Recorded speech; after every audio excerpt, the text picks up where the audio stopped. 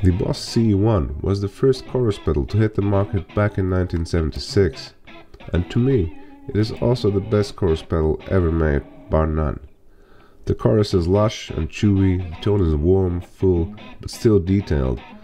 There are great vibrato tones to be had, and it can do a great fall Leslie too. It never sounds cheesy like a lot of other chorus pedals can sometimes do. I love the aesthetics and the aura of the huge green box, even its smell. It looks like a military piece of kit from an early Fallout game. But as a hobby guitarist, I don't have much time to wire up all the pedals each time for playing sessions, and these old big boxes are just too huge for a pedal board. So I've been trying to find a pedal board friendly chorus that could substitute the CE1 for a long time. I've tried a few pedals that were based around the CE1, but none of them did really nail that chorus and preamp tone. Recently I acquired the Past FX Chorus Ensemble Mini, the MN3002 version, to stack it up against my vintage original. In this video I will showcase different settings on the Boss and the Past FX.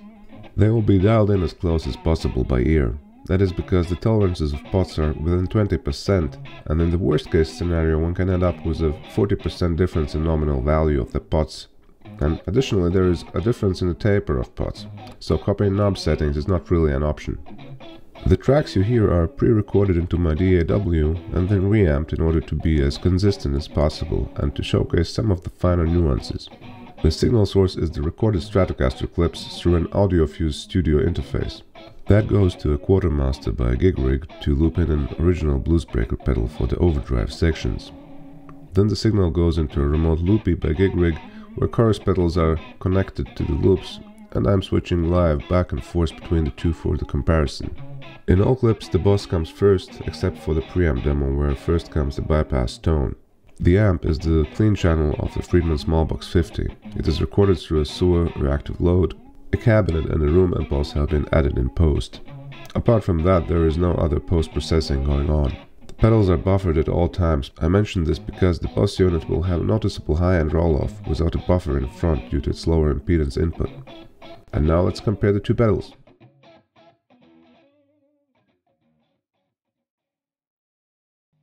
you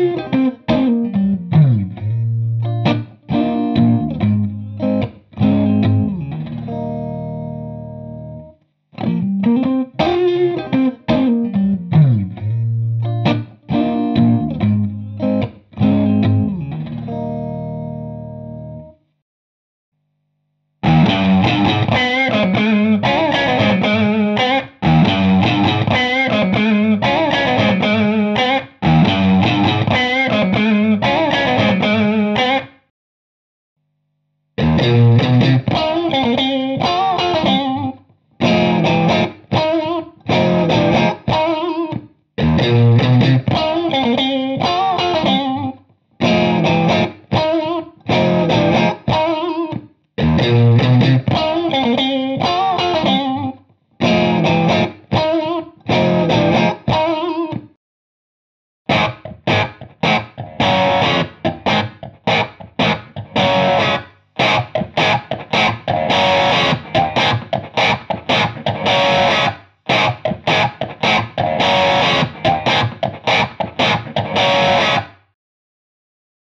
Thank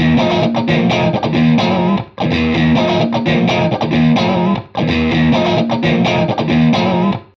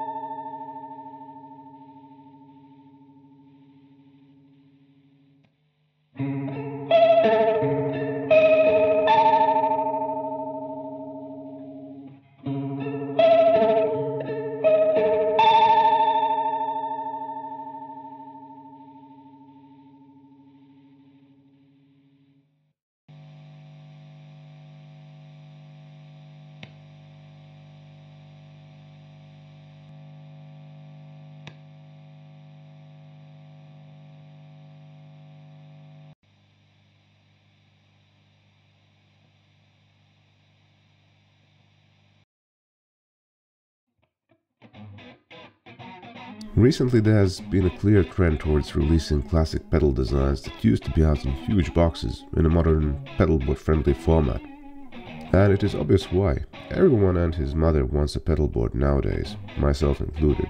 And unless you are really committed to a specific vintage piece, the old boxes don't work great in that context.